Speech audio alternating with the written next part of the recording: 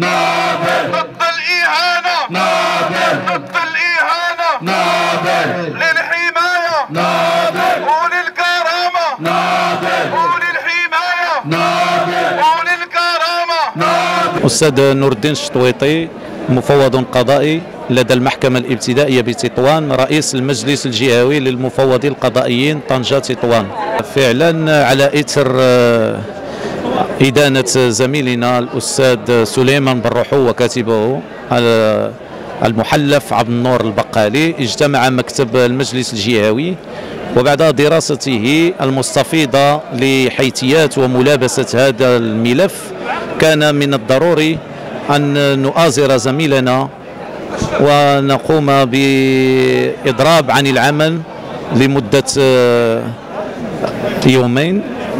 في الأسبوع الفارط وهذا الأسبوع كان وقفة احتجاجية كان لا بد منها أن أن تكلل عمل المجلس وذلك بالتنسيق مع كافة رؤساء المجالس الجهوية للتنديد من أجل الكرامة من أجل الحرية من أجل حماية المفوض القضائي من أجل العمل على تثبيت مصداقية عمل المفوض القضائي وتجويد خدماته.